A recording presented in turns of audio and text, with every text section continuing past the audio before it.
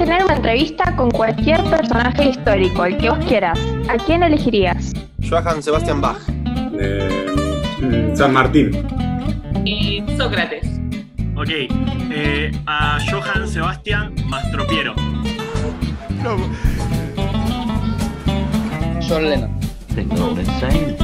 Eso no se pregunta. Frederick Chopin. Se me ocurre Phil Oaks.